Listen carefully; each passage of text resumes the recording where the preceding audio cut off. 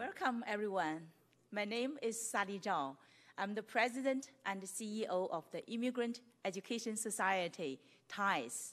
I'm very pleased that you can join me and my team here at our newest space, our third location in West Winds.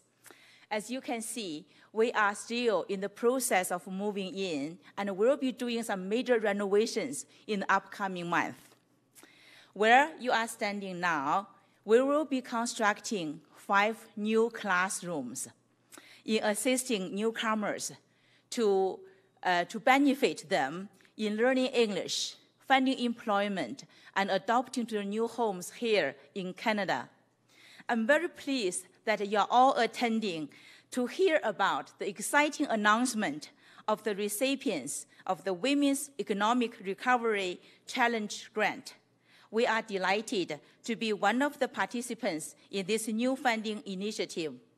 I'm very honored to invite the Honorable Doug Schweitzer, Minister of Jobs, Economy, and Innovation to share the exciting details of this new program. Minister Schweitzer.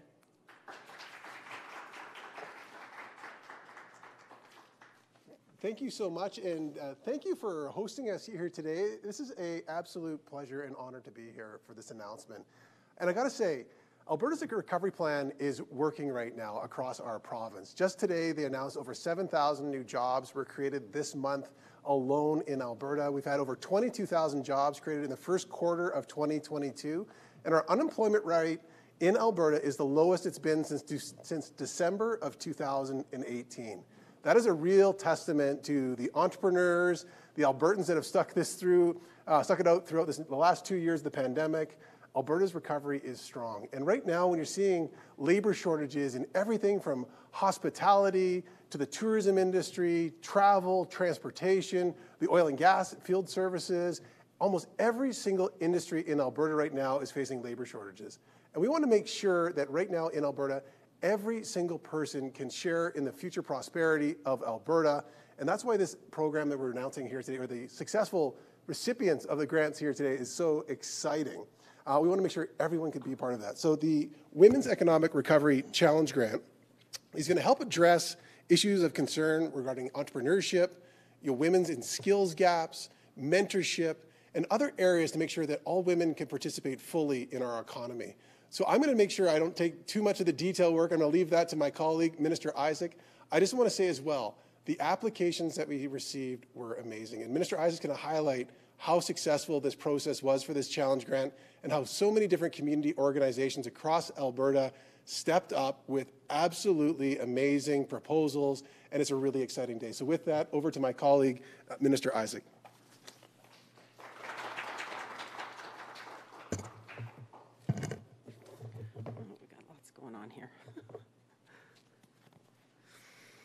Thank you so much, and it's a pleasure to be here today. Um, you know, before I, we get started, I just want to acknowledge that we are here today on Treaty 7 uh, traditional lands, um, as well as uh, home to the Métis uh, Nation number three. And uh, I just want to acknowledge that we share that land and um, and uh, with the people who have such a deep connection to it. You know, last November, our government launched this Women's Economic Recovery Challenge grant program, and it's focused on helping build an Alberta where more women can succeed in their careers. Um, this is uh, especially in Alberta's uh, fast growing tech sector and also in entrepreneurship. Our government recognizes that women and girls may face uh, unique challenges that keep them from participating fully in the economy. And that's why we asked community groups to partner with us to help women succeed in well paying jobs in industries that are vital to building this province's future and economic recovery. And I'm pleased to say that organizations across from Alberta rose to the challenge.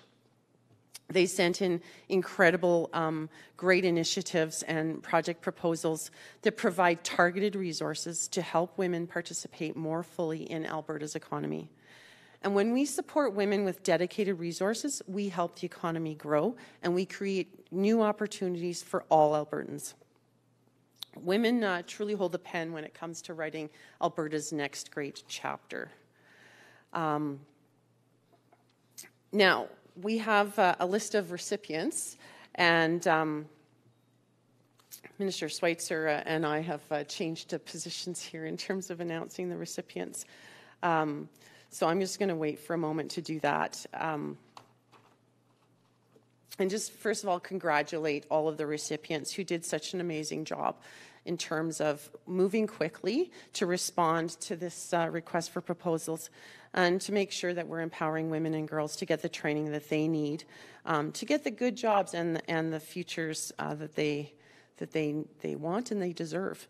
Um, from Fort McMurray to Rocky Mountain House, successful recipients from across Alberta now have the funding to expand or kickstart new projects that will help increase women and girls' economic uh, uh, opportunities, like our hosts um, the, the Immigrant uh, Education Society, who will use their funding to help immigrant women in Calgary increase their web development and coding skills. And I think that's a really important uh, key for our high tech industry. We know that uh, from the high tech industries, we've heard over and over again that finding coders is very, very difficult. The market is very tight for that. So the more work that we do with that now, the better off that industry and all of Alberta's economy is going to be. We also have on the list the Lac La Biche Canadian Native Friendship Centre Association, who's going to use their funding to support women artisans in building their entrepreneurship skills so that they can market and sell their uniquely made in Alberta products. Um, aspiring tech entrepreneurs will also get the training and skills to help them be the job creators of tomorrow. And we know that um, diversification of our economy is key and uh, our high tech industry is booming. And uh, it's that entrepreneurship. And interestingly, um, many, many, many of the um, high tech uh, startups in this province. Uh, run by entrepreneurs are actually um, started and run by women entrepreneurs. So I think that's a, a pretty good story for Alberta. Um, also, the, the STEM program from school age girls uh, that's that's uh, was proposed by the Our Lady of Victories Association in Edmonton, and they're going to focus on robotics and also coding. Um, these are just some of the examples of the amazing programs that have the ability to transform the economic opportunities for women and girls across Alberta. To all of the recipients, and I will list them in a moment, um, thank you for sharing your ideas with us and empowering women and girls to, to really reach their full potential while supporting our communities and our economy. Um, like I said, we've had a number of um, really great proposals that have come in. The, um, I'll just talk a little bit about the reach of these. So, for instance, if we look geographically, we have six projects in Edmonton. We have six that are Calgary based. We have four that are online and stretch across all of Alberta. We have three from northeastern Alberta and rural Alberta. We have one from central Alberta, which is rural Alberta. And we, uh, in terms of the, um, the challenge grant questions, so we have five that deal with STEM, which is science, technology, engineering, and math. We have four that deal with decreasing barriers. We have one for entrepreneurship, and we have eight that respond to more than one of these questions. Um, so the other thing is to understand the scale of this funding. We have three that are less than 100,000, eight between 100,000 and 200,000, and nine over 200,000. That's significant resources for these organizations, and it will make a real difference. Um, also, the types of organizations that have applied and been successful 13 community organizations, three post secondary institutions, two First Nations or Metis settlements, and one municipal or municipality or municipal district. And in terms of the target communities, six target school-aged and or post-secondary aged women and girls, five career-aged women, five that are for immigrant women target, two for indigenous women targets, and two are, that are employers. And I think that really shows that it's taking um, a really broad-based look at all across Alberta. It's well balanced. Um, but it really will result in tangible results. And what's really great about this is it actually targets the, um, the creativity that our civil society can actually offer. Um, now, we had um, 1 million originally budgeted for this when we announced it in November, and I'm pleased to say that that budget amount has been raised to 3.6 million, and so we are able to make a bigger difference. And so now we're going to talk, I'm going to list the recipients. And again, I want to thank every single organization that applied.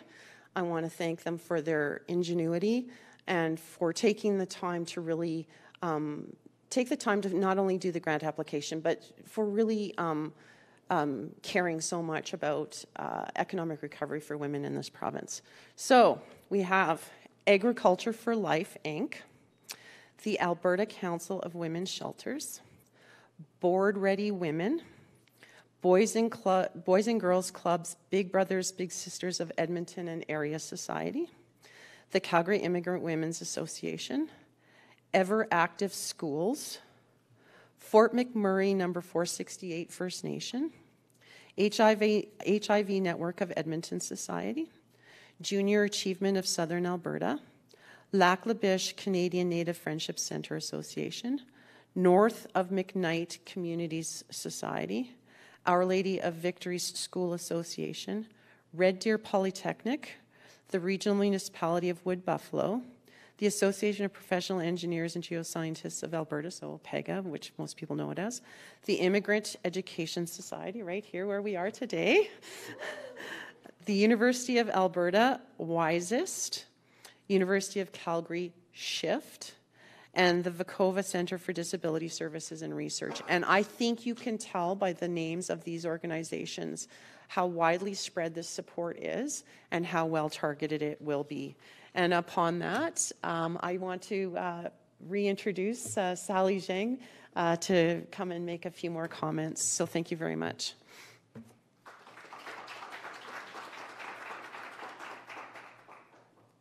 Thank you, Minister.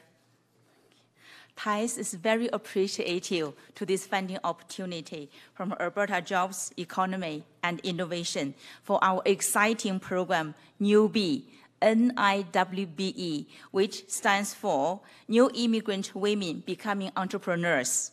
With over 33 years of experience working alongside newcomers in their settlement journey, TIES is well positioned to help Alberta's newcomer women get the required training and confidence to contribute to Alberta and Canadian economy at the same time help themselves and their families become more financially stable.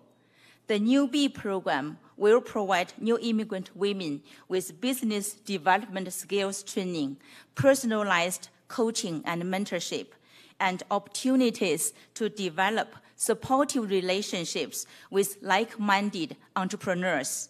It will address the main gaps researched and identified as a lack of community and cultural awareness and sensitivity towards immigrant women in making new business support solutions more approachable and relatable. The NIWBE training is designed to give women entrepreneurs a solid foundation through a more relatable, ethnocentric, community-based approach of learning and mentorship. It will sustainably support budding immigrant women entrepreneurs through a community foundation of empowerment. NIWBE is the type of training initiative that is, we need in this province to expand our pool of talented women entrepreneurs and business owners.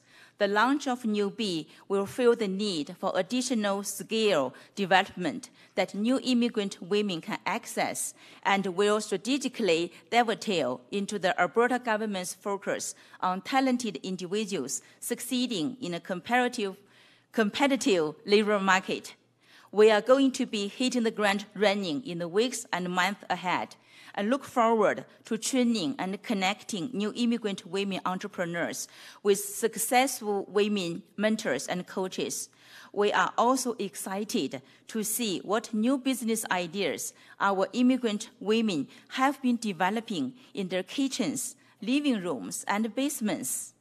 We plan to shine a light and help grow this talent pool, which in turn can contribute new employment opportunities for other Albertans. Watch for more coming from NIWBE.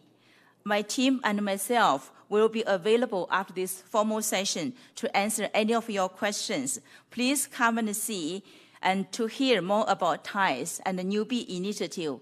Thank you again for coming.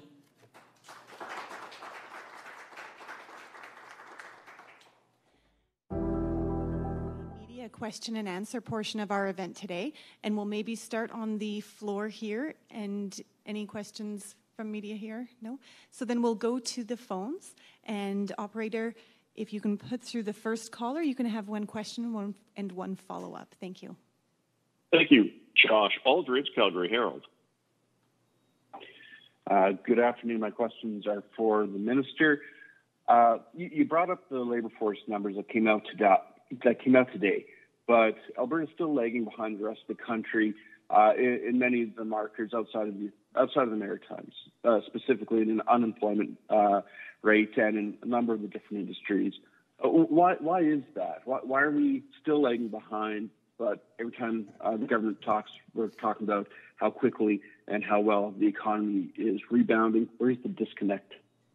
So right now, when you take a look at the unemployment rate in Alberta, it's the lowest that it's been since, De- since December of 2018. Just in the first quarter alone of this year, we've seen over 22,000 jobs created in Alberta. On top of that, you had 130,000 jobs created last year. So right now, when you take a look at the, the, momentum that's in Alberta's economy, the main drivers of our economy, obviously being the energy industry, you're starting to see hiring going on there in, in numbers that we haven't seen in a long time in Alberta. On top of that, the diversification that's happening across Alberta's economy, everything from de Havilland's announcement of setting up its Canadian headquarters in Calgary, creating 500 manufacturing jobs, Walmart announcing its distribution center, again with high end logistics work that's going to be done there, the tech sector growing in leaps and bounds year over year. Alberta's economy is exceptionally well positioned that this is going to be Alberta's decade. Everyone's going to look at the inflection point of people starting to move to Alberta that happened in the beginning of, sorry, in the middle of last year. You're truly starting to see the economic momentum of Alberta hit its stride. Now, where did we start uh, when we formed a government in 2019? An immense amount of uncertainty as to where Alberta's economic future was going to be. We take a look now for what the path forward is going to be for Alberta. Alberta has an amazingly bright future. Do you have a follow up, Josh? Uh, I do. I do. Uh, federal budget was released yesterday. The finance minister did highlight uh, those labor shortages and that they'd be making efforts to address them. Are you encouraged by what you said, by what she saw, or what she said? Uh, do you have uh, concerns about what she said, or, or you just need more information at this point still about uh, how that's actually going to be addressed and benefit Alberta along the way? Well, one of the things that we identified in our most recent provincial budget was the need to make sure that we have the right skill sets for the workforce, as well as attracting talent to Alberta to help us capitalize on all of these opportunities in almost every industry right now in Alberta. Uh, so we're everything from the tourism sector to the hospitality industry, the transportation industry, the tech and innovation space, film industry, you name the industry right now in Alberta, and they need skilled talent. That's one of the reasons why the announcement here today is so important to make sure that we have the right skills training for Albertans and make sure that they can take advantage of these amazing career opportunities that are unfolding across Alberta. As it relates to the federal budget, there's a lot there that we need to get some more details on from the federal government. The biggest thing, obviously, was the carbon capture funding from the feds. Obviously, we're not 100% happy with it, but at least it's a step in the right direction on that. We have a lot more work to do to get details from that, working with industry to what the path forward is going to be for carbon capture. Thank you, Minister. I understand at the moment we have no further questions online. I'll do a pass at the floor again. Oh. Did you want to? Uh, yeah. Oh, Whitney. I just want to follow up on Minister Schweitzer comments about the momentum of the Alberta economy. You know, when we first uh, got elected, um, you know, and started driving the QE2 up to Edmonton, you drive by the Ritchie Brothers yard. It's on the east side of the of Highway 2. And in 2019, that yard was completely full. Couldn't fit another sliver in between all of the equipment that was parked there ready for auction.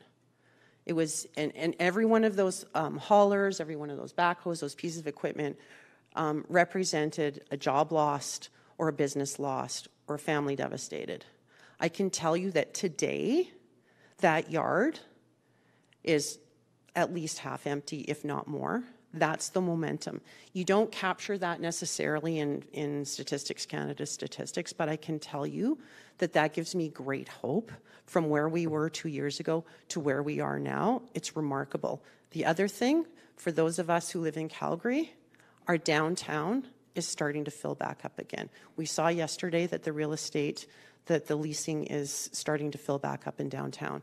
And I think those are both significant signs of great momentum in our economy. And I really think that we need to pay attention to those sorts of, of those sorts of markers just as much as Statistics Canada.